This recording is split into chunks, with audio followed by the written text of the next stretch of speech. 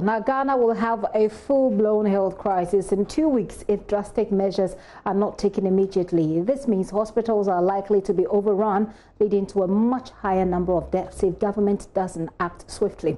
This disturbing projection was made by some health experts on Prime Morning today. We'll be hearing from them shortly. But the Ghana Health Service has also been giving us updates on the country's COVID situation. Director of Public Health at the service, Dr. Badu Sarkodie, disclosed the number of cases confirmed is 12,929. Four persons infected with COVID-19 are in critical condition and are at the moment on ventilators, whilst 14 others are critically ill. The total number of 12,000 29 positive cases have been reported out of 261,319 persons tested. This brings the positivity rate to a figure of 4.95%. The total number of people that have recovered, the figure now stands at 4,400 and 68.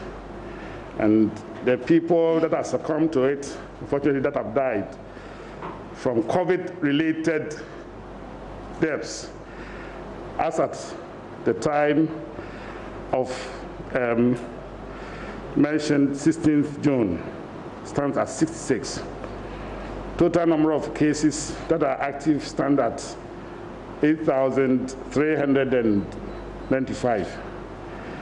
And these are people that have been being managed on treatment sites in isolation centers, and some of them under home management. 14 cases are classified as severe, and four are considered or classified as critical that are on ventilators.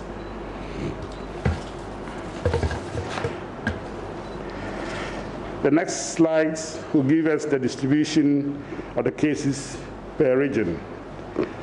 These are the regional distribution. Total number of 339 new cases reported from 36 districts in eight regions.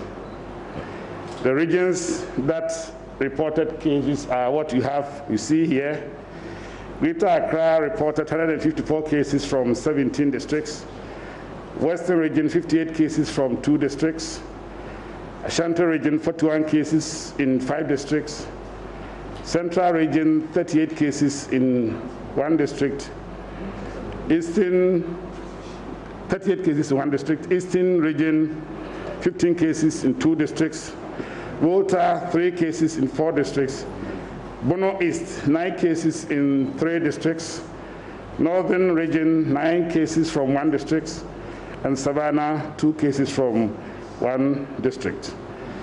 The next two slides would give us the various differences that we had from the previous updates till now. And Greater Accra reported total of 154 cases, new ones. And those districts, 17 districts that reported cases are what you see on the extreme right column. Eastern region, 15 new cases from Upper Manya, Krobo, and New Gavin. Central region, 38 cases, all from Cape Coast. Western region, 58 cases from Wassa, Menfi, Tarkwa, and Suayim.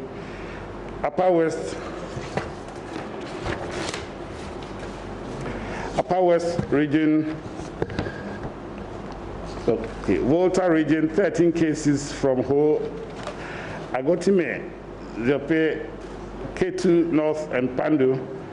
Shanto region, um, 41 cases from Asokwa municipality, uh, which is now the hotspot for the region. Obuasi, seven cases, Kumasi Metro, one, Ejisu, one, and Mampong, one. Um, Saboba, um, Northern region reported nine new cases from Saboba, and Savannah reported two cases from Central Gonja. Bono East, nine cases from Pru, East, Techiman, and um, Upper West region, Upper East, Northeast, Oti, West North, and Bono East, Bono this, the uh, region, and Ahafo region did not report any new cases. Your Honor, the Minister of Information, distinguished ladies and gentlemen, this is a situational update on the case count on COVID-19 for the country, Ghana.